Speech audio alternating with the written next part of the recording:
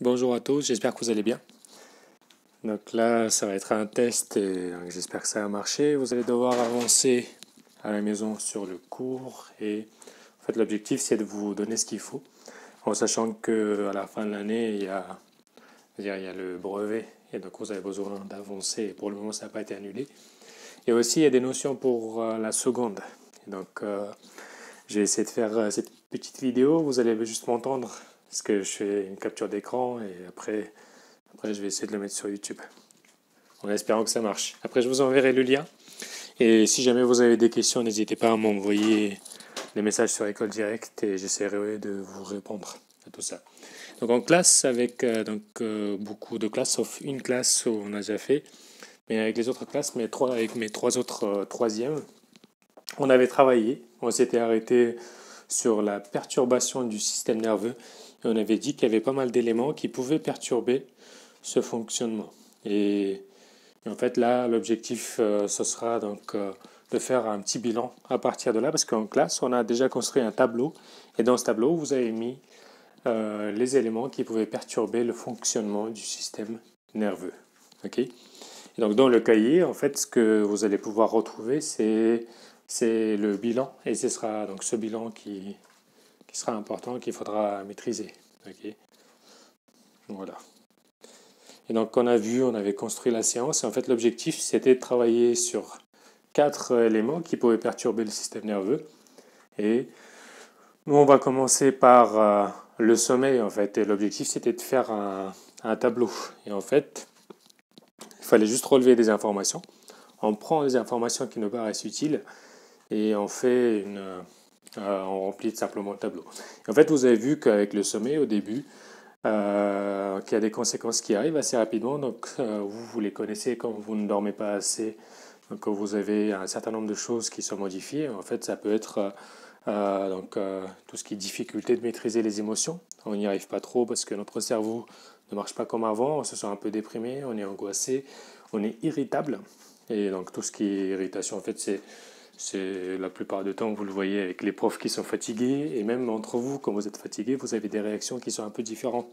Donc sur cette image ici, on peut voir déjà des modifications sur euh, son état, en fait, sur sa forme. voilà. Et en fait, sur le document 2, au centre, euh, donc il y a des zones qui sont entourées et on est en train de faire, on est en train de projeter des images sur des, des images un peu choquantes pour donc sur des personnes, deux types de personnes. Il y en a un donc, euh, qui ont bien dormi, c'est le sujet témoin, et il y a un sujet qui a été privé de sommeil. Et en fait, ce qu'on voit, c'est que pour le témoin, il y a une forte activité cérébrale dès qu'il y a un choc, une image de choc qui est projetée en fait, elle est capable de mobiliser, ça veut dire euh, elle est capable de retrouver euh, donc des zones qui sont actives et de réagir. Alors que pour la personne qui n'a pas été, euh, qui n'a pas assez dormi, vous allez avoir une zone qui n'est pas suffisamment activée. Si vous regardez bien sa couleur, c'est donc du jaune majoritairement. Et en fait, tout simplement, cette personne a du mal à mobiliser ses ressources. Et vous, c'est pareil, vous êtes dans le même cas, vous, avez, donc vous allez avoir beaucoup plus de mal à mobiliser vos ressources. Et, voilà, vu que je suis à la maison, je suis interrompu, mais bon. Et donc vous allez avoir plus de mal à, mobiliser vos ressources parce que, en fait, tout simplement, vous êtes fatigué. Et sur la courbe qui est à droite, vous allez avoir euh, une durée qui est conseillée, donc ce n'est pas une durée qui est absolue, et donc c'est une durée de sommeil qui est conseillée. Et vous, vous êtes normalement, vous avez quel âge? Vous avez entre 13 et 18, j'espère. Et donc vous avez 13 et, entre 13 et 18. Et en fait, on vous conseille un peu plus que 8 heures de sommeil. Et donc, ceux qui jouent le soir aux jeux vidéo, faites gaffe. Parce que le jour d'après, vous avez de mauvaises humeurs. ok? En fait, bah, tout simplement, ça, ça vous montre que vous avez besoin de l'ensemble des informations pour être actif. Et donc, euh, pour avoir ces informations, il faut avoir une bonne hygiène de vie, donc on dort bien, et ça en fait partie. Donc pour que le, fonctionne, donc pour que le cerveau fonctionne bien, vous avez besoin de bien dormir. Ok? Et donc bah, tout simplement, ce bilan-là, il faudra qu'il apparaisse dans votre cahier. Si jamais vous ne l'avez pas, à la suite de votre tableau, il faut le compléter. Il faut savoir que le sommeil va jouer un rôle qui est important, on l'a vu, juste avant. Donc ce sommeil est fondamental. Et en fait, on en a besoin pour avoir le bon fonctionnement du système nerveux.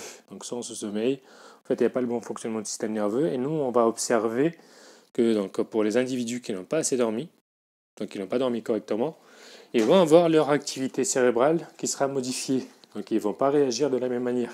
Ça, ça entraîne une mauvaise gestion de l'humeur, le contrôle de la réponse du corps. Euh, et en fait, ça, c'est face à la peur et l'anxiété.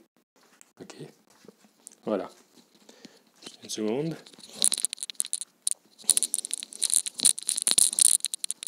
Cool. Après, nous, on va s'occuper d'un autre, donc euh, on va en fait regarder un autre phénomène. On avait, donc on avait aussi étudié en classe et on avait parlé du tout ce qui est bruit et tout, musique et tout, qui pourrait nuire, euh, euh, qui pourrait en fait empêcher votre système nerveux de fonctionner correctement. Et ici, vous avez un certain nombre d'images. Et donc, si on regarde le document numéro 4, vous avez plusieurs, plusieurs informations. Sur l'axe vertical, vous avez les décibels. Et en fait, rappelez-vous, les décibels, ça nous, permet, ça, nous permettait de mesurer euh, l'intensité des sons qui arrivent euh, vers nos oreilles. Donc vous avez ça. Et sur euh, l'autre axe, vous avez les sons aigus et les sons graves. Et en fait, vous avez plusieurs personnes. Soit donc, la personne A, qui écoute de la musique régulièrement avec son lecteur MP3 depuis un an. Et en fait, là, donc cette personne a une audition qui est tout à fait normale. C'est pas très grave. Si une personne écoute de la musique depuis 4 ans de manière régulière, et donc euh, on voit en fait chez cette personne que donc elle aura du mal à entendre les sons qui seront proches des sons aigus, et elle a déjà perdu plus de 30 euh, décibels, donc on a besoin de parler plus fort pour que cette personne puisse entendre. Et vous avez un cas plus grave, vous avez des personnes qui écoutent de la musique depuis 10 ans, et aussi qui vont dans les discothèques, dans les concerts et tout.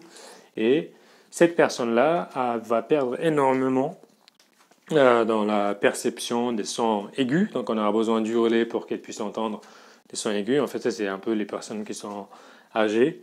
donc en gros, le message à faire passer à partir de là, c'est que bah, il faut protéger vos oreilles.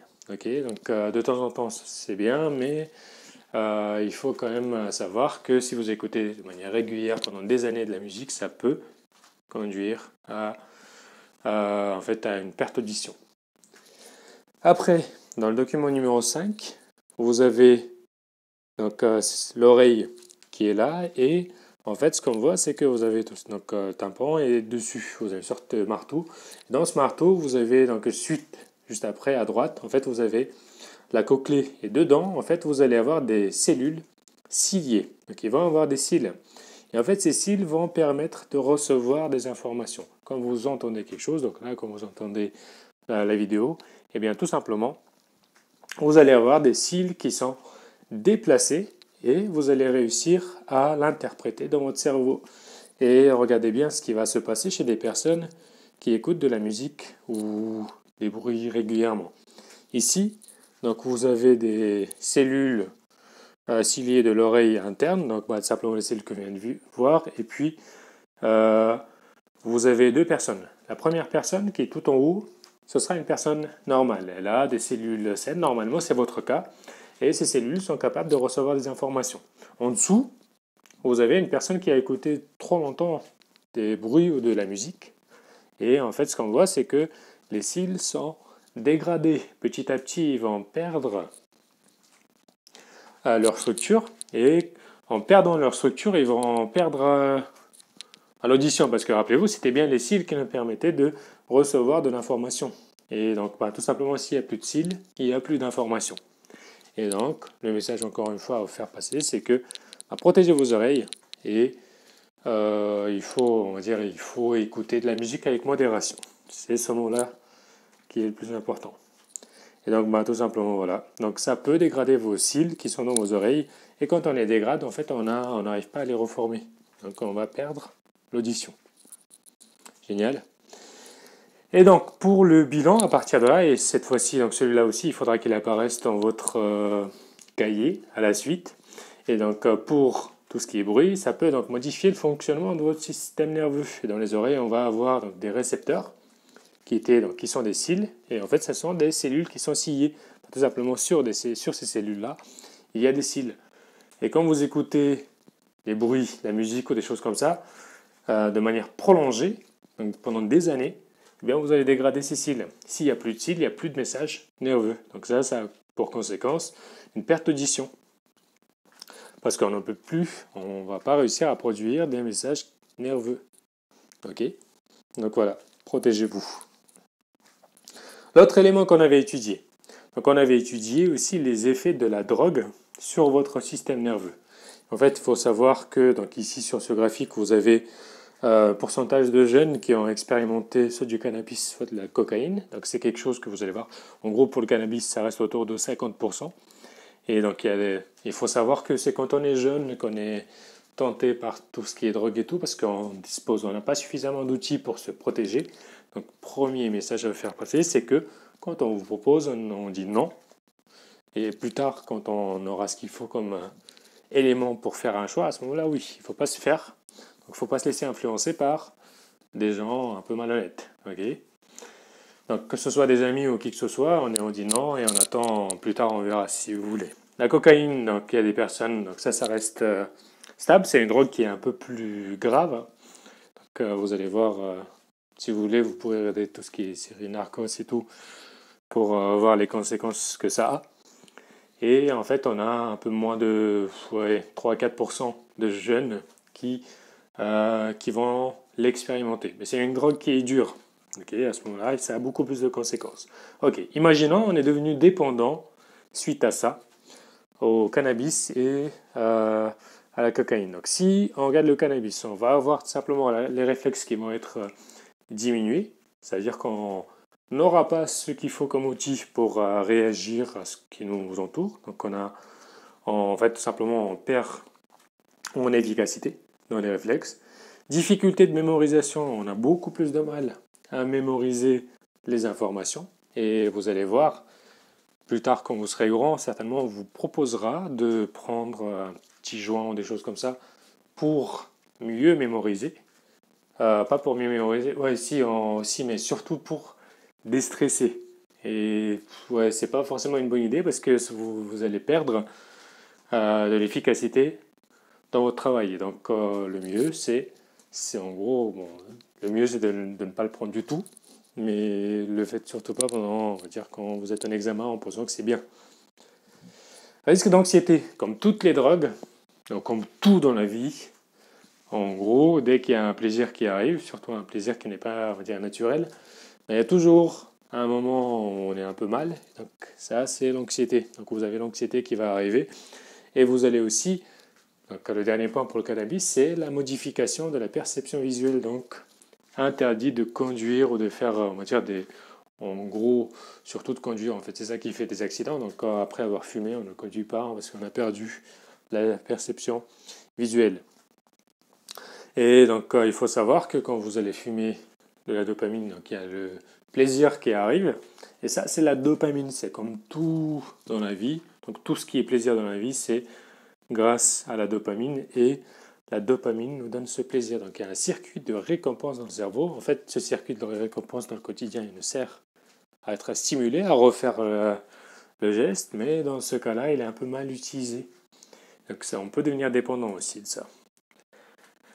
La coque, la cocaïne, donc euh, ben, tout simplement il y a un risque d'anxiété, donc paranoïa ça c'est sûr. Comme je vous ai dit, quand il y a un plaisir intense qui arrive derrière, on se sent très mal. Difficulté de mémorisation automatiquement parce que le cerveau ne marche plus correctement. Risque d'accident cardiaque, votre cœur ben, tout simplement peut s'arrêter un moment et vous pouvez en mourir. Risque d'hallucination, donc les hallucinations c'est quelque chose euh, qui vous déforme un peu la réalité et vous n'arrivez plus à interagir. En gros, je pense pas que ce soit une bonne idée de le prendre. Il y a des travaux à côté. Ok, ça c'est bon. Ok, regardez bien. Donc, dans cette image, vous allez avoir des effets à long terme de la cocaïne sur le cerveau. Et en fait, ici, on a suivi des personnes qui ont pris cette drogue pendant, on va dire, longtemps. Et bien, tout simplement, on regarde leur cerveau et on regarde le nombre de neurones dedans. Et rappelez-vous, le neurone, normalement, ça vous sert à, ouais, à vivre, à réfléchir, à agir, à vous adapter à votre environnement. Et en fait, quand on devient trop dépendant à la cocaïne, on va avoir des zones du cerveau qui ne marchent plus. Ben, tout simplement, vous avez vos neurones qui vont mourir et ce sont des zones, ben, du coup, anormalement plus petites. Donc ça ne marche plus. Et bah, tout simplement, quand il y a des zones du cerveau qui ne marchent plus, on perd les fonctions. Et du coup, bah, ça dégrade notre cerveau.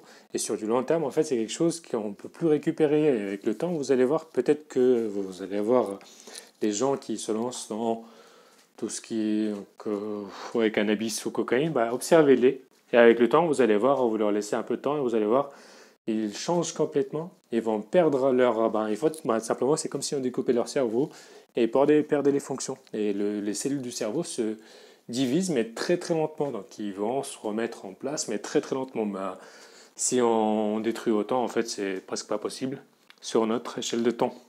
Ok? Et puis voilà. Donc protégez-vous. Bah, tout simplement, donc, par rapport au bilan, encore une fois, celui-là, il faudra qu'il apparaisse dans votre cahier. Vous allez avoir donc, des substances psychoactives, les drogues, qui vont agir sur le cerveau et ça, ça modifie l'équilibre du système nerveux.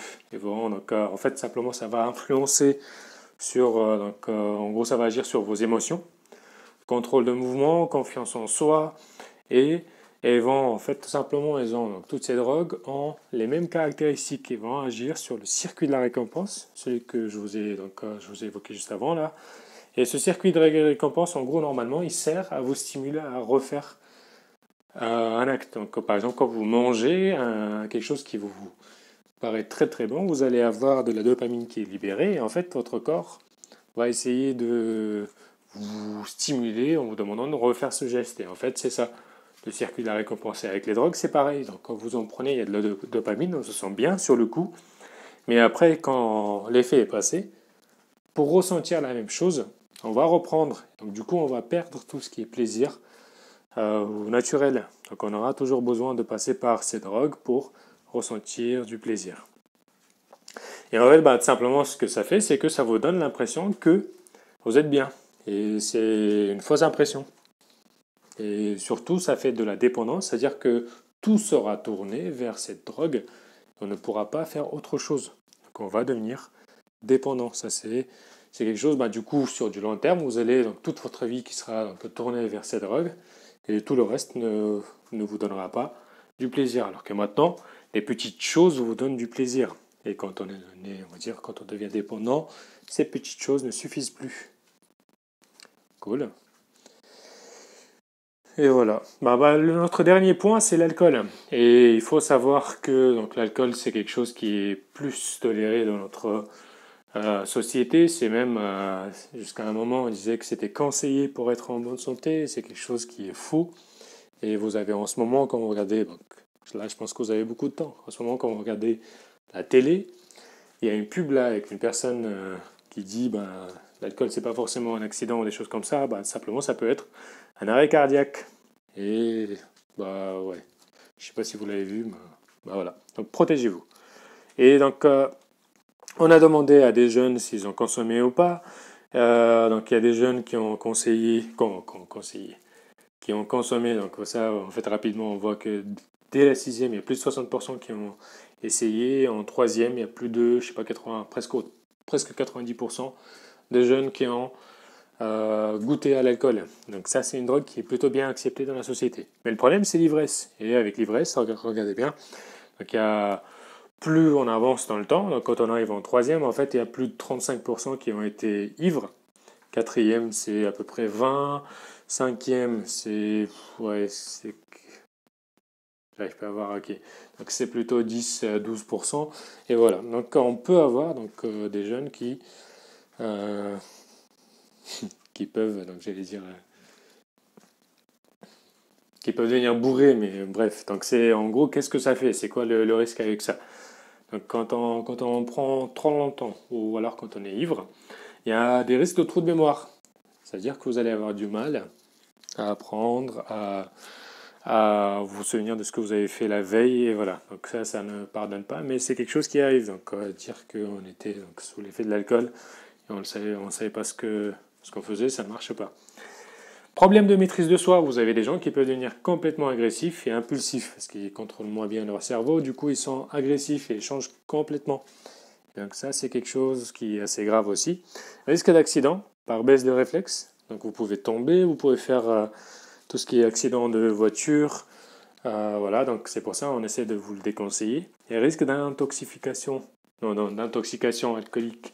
Donc là en fait simplement vous allez avoir vous allez vomir, vous pouvez aller jusqu'au coma. Donc il y a un coma éthylique qui est très très connu, c'est quand on à des soirées, on essaie de montrer qu'on est capable de boire énormément et du coup on peut donc entrer dans un coma éthylique et puis mourir. Donc à ne pas blaguer avec. Et juste un dernier point, et ce point il est important, c'est un exercice qui tombe souvent en brevet. Et je vous conseille de raisonner là-dessus. Et en fait, vous avez deux personnes, deux personnes, deux cas. En fait, vous avez une personne qui n'a pas du tout bu d'alcool. Et cette personne voit un obstacle. Et dès qu'elle voit l'obstacle, on regarde la distance d'arrêt nécessaire. Et euh, voilà. Et donc, en fait, on roule à 50 pour 50 km/h. Et imaginons, donc la personne vient de voir l'obstacle. Quand elle a vu l'obstacle, l'information est arrivée dans les yeux elle a vu le panneau, ou je sais pas, une personne au milieu. Euh, ça arrive dans les yeux, ça après donc ça circule dans le nerf optique, ça va jusqu'à l'arrière du cerveau. Maintenant vous savez que c'est traité à l'arrière du cerveau. Dedans il y a euh, les zones qui vont interagir, rappelez-vous, avec V3, V2, V3, V4, V5. Donc ces zones qui interagissaient. Et le, après, donc, il y a un message qui se forme, qui va partir vers le pied, parce que le pied, donc on va demander au pied d'appuyer sur le frein, parce qu'on a vu un obstacle ou une personne. Et donc le temps qu'on fasse ce traitement, le temps qu'on appuie sur le frein, on a parcouru donc 14 euh, mètres, et c'est juste une seconde. En une seconde, on a parcouru 14 mètres. Et on a appuyé sur le frein, et en fait, bah, tout simplement, on a eu besoin de. En gros, dès qu'on a vu l'obstacle à l'état normal, on a, on a quand même parcouru 26 mètres. C'est quelque chose qui est énorme. Donc, il ne faut pas se dire que dès que je vois une personne, j'appuie sur le stop et c'est fini. Donc, en fait, il y a un temps de traitement et un temps de freinage. ok? Et vous avez un autre cas, juste euh, donc, il y a 0,5 g par euh, en gros d'alcool euh, par litre de sang. Et cette personne, en gros, après juste un verre, et en fait, cette personne va refaire la même chose, voit l'obstacle, réagit, interprète dans le cerveau, envoie le message vers le, vers, le pied. en fait, cette personne a parcouru déjà 21 mètres. C'est quelque chose qui est énorme, c'est juste une seconde et demie. Donc c'est quelque chose, euh, en gros, en lien avec la perte de réflexe. Et elle n'a pas réussi à, on va dire, à stopper à temps. Et donc dès que le message est envoyé vers le pied, on appuie sur le frein et donc on parcourt la même distance parce que le frein n'a pas eu le temps de prendre l'alcool, du coup, euh, donc n'a pas changé, donc elle a quand même eu 12 mètres de freinage comme distance, mais surtout, c'est la distance parcourue pendant l'interprétation, pendant la réaction, le temps qu'on se rende compte qu'on a vu l'obstacle, qu'on réagisse, donc on a mis plus de temps. Ça, vous avez vu, c'est parce que le cerveau interprète les informations plus lentement. Donc voilà, c'est un exercice classique et donc il faut savoir que en gros, il faudra juste savoir retracer l'ensemble du chemin quand on a euh, pris de l'alcool. Donc le, fait que ça arrive vers les yeux, que dans les yeux c'est traité plus lentement et que dans le temps que ça arrive dans les, pieds, ben, on met plus de temps et du coup on peut faire des accidents. Et en fait, la plupart du temps, les accidents, euh, ça arrive comme ça. Donc on vous déconseille de prendre de l'alcool. Et ça, vous êtes concerné, donc à partir de, en gros, c'était une pub en 2015, vous avez beaucoup d'accidents, et en fait, chez les jeunes, c'est euh, un des on va dire, facteurs euh, premiers qui tue les jeunes, donc l'alcool. Et en fait, c'est entre 18 et 25, 25 ans, c'est la première cause de mortalité, tout simplement. Et on essaye de dire aux jeunes non, donc il ne faut pas boire. Au maximum, donc pour le moment, ce qui est accepté, c'est 0,2 euh, g. Avant, c'était 0,5. Maintenant, quand vous allez avoir votre permis, vous n'avez pas le droit d'avoir plus de 0,2 g d'alcool dans le sang. Et ça, c'est en lien avec l'exercice qu'on a vu juste avant. Donc, protégez-vous. Ça, sert à rien. Ok, regardez bien. Donc l'alcool, donc celui-là, il faudra qu'il apparaisse dans votre cahier. L'alcool donc va agir comme narcotique, c'est une sorte de drogue donc euh, sur votre cerveau et euh, ça a donc comme effet un ralentissement de la communication entre les neurones. Rappelez-vous, le temps de réaction plus lent. À terme, donc sur du long terme, bah, simplement certaines cellules du cerveau vont mourir aussi, comme dans le cas des, drogues.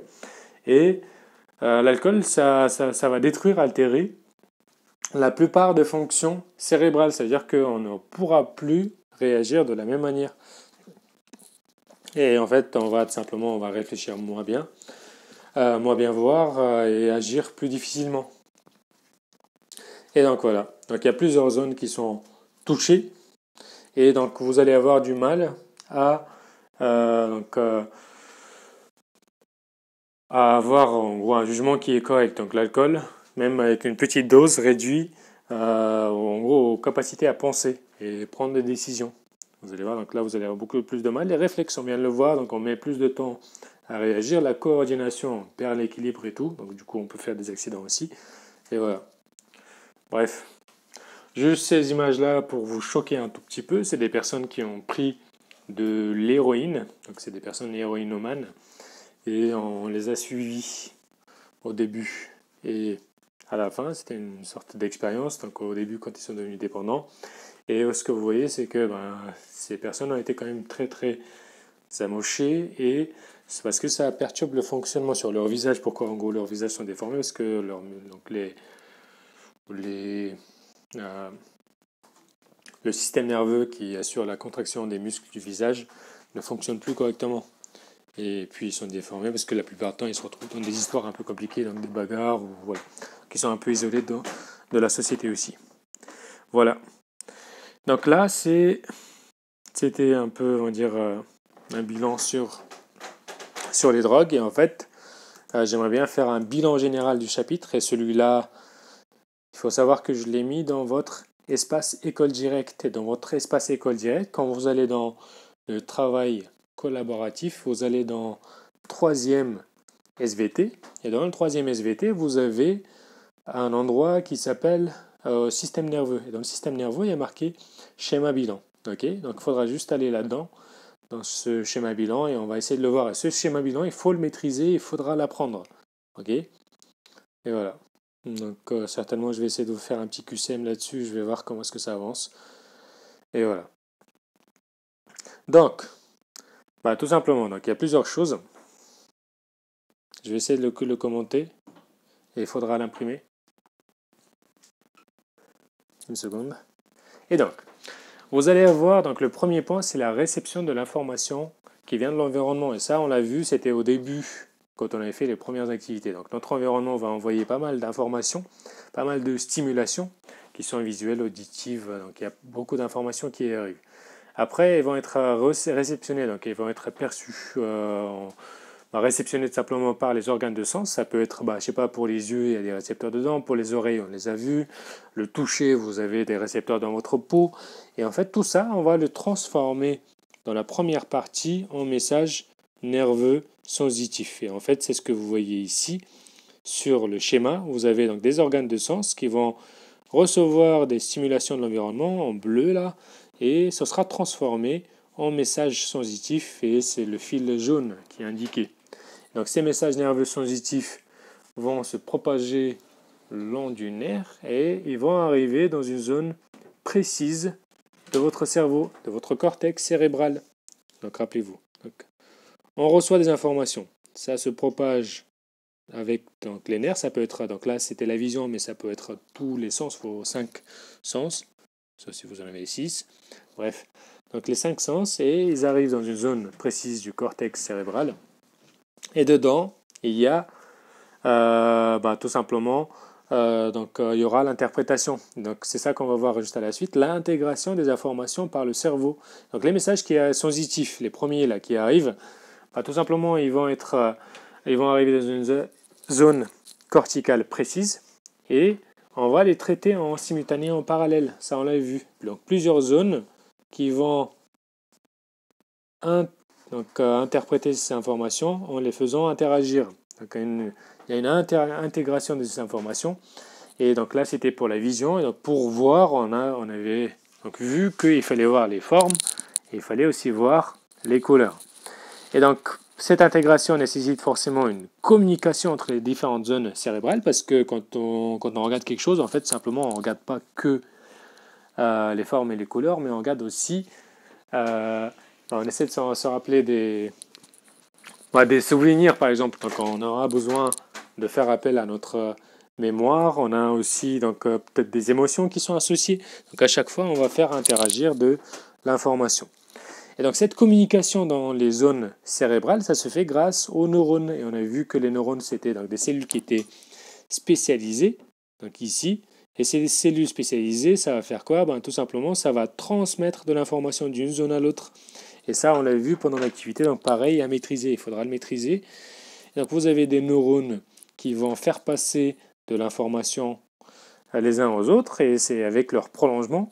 Et en fait, les neurones étaient associés les uns euh, les uns avec les autres, bah, tout simplement avec des synapses. Donc il y avait des synapses et dans ces synapses, on avait une transformation du message électrique en message chimique. Rappelez-vous avec des substances chimiques qui étaient euh, déversées dans la fente synaptique et bah, tout simplement le message nerveux qui était transformé en message chimique et puis derrière on reformait un message électrique. Donc les synapses, ça nous permettait de faire une communication. Il faut savoir comment est-ce que ça marche.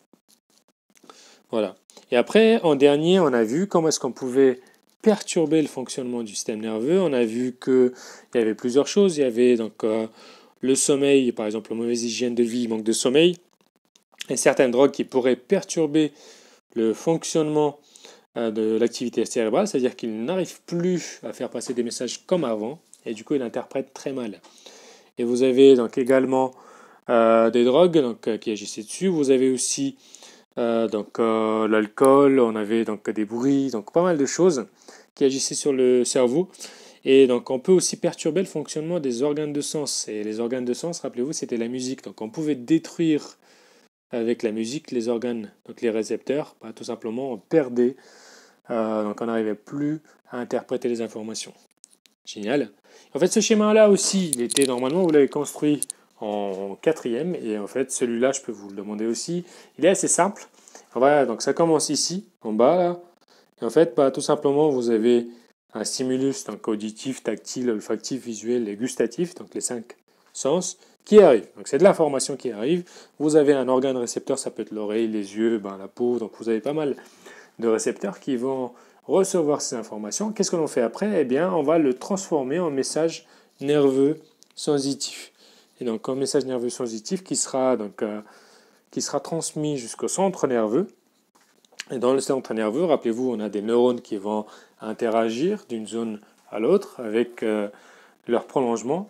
Et quand il y a une interaction, on, on donne un sens en fait. C'est ça l'interprétation. On va l'interpréter en intégrant dans les différentes zones. Et on va donner un sens et on va réagir derrière. Et pour réagir derrière, vous avez besoin de faire euh, donc mettre en jeu un organe effecteur, et la plupart du temps, l'organe effecteur, c'est un muscle, dans ce cas-là. Et donc, euh, bah, le nerf, donc il y aura un nerf moteur qui va partir avec des messages nerveux, et puis simplement, on va faire donc, un mouvement avec, euh, avec l'ordre qui est, qui est, reçu. En fait, d'où vient l'ordre? Il vient bah, tout simplement de l'interprétation des différentes informations. C'est chouette. Et donc, donc voilà. Bah, tout ce que je vous disais vous l'avez et vous avez des diapositives, vous avez le bilan. Je sais que c'est un peu compliqué de travailler à la maison seul, mais il faut qu'on faut tienne le rythme. Parce que comme je vous ai dit, il y a le brevet à la fin. Donc là, j'ai parlé pas mal de temps. c'est un peu plus court qu'en classe. En classe, ça aurait pris beaucoup plus de temps parce qu'il y aurait forcément quelqu'un pour... Euh, euh, je sais pas, pour, euh, qui serait intéressé. Du coup, on poserait des questions et tout et ça aurait pris un peu plus de temps. Donc ça c'est plutôt positif, mais là c'est un peu triste, mais c'est comme ça. Et donc euh, on va avoir donc, ces cours-là qui sont présents ici dans SVT 3e, donc les autres niveaux, donc vous n'allez pas, normalement ce sera même pas, ça n'apparaîtra pas. Et dedans, vous avez donc les diapositives et vous avez le bilan. Et il faudra donc, euh, pour les diapositives, je vous ai dit ce qu'il fallait recopier. Et pour le bilan, vous l'avez aussi, donc il faudra se baser sur les deux. Vous avez vos bilans et vous avez aussi le bilan général du chapitre, parce qu'après on va changer de chapitre. Ben voilà. Donc, euh, j'allais dire lâcher un maximum de, de pauses bleues. Je sais sais pas comment je vais faire, mais en tout cas, je vais essayer de faire euh, une chaîne. J'espère que ça va marcher. Mais en tout cas, voilà, bon courage et vous n'ayez pas peur. Euh, je pense pas que vous avez peur, mais, voilà, tout ça, c'est juste un moment particulier. on passera. Et on sera, aussi, ce sera l'occasion de voir le système immunitaire qui arrive dans un, deux chapitres. Bah voilà. Bon courage à tous et si jamais vous avez des questions, vous me direz. Et voilà.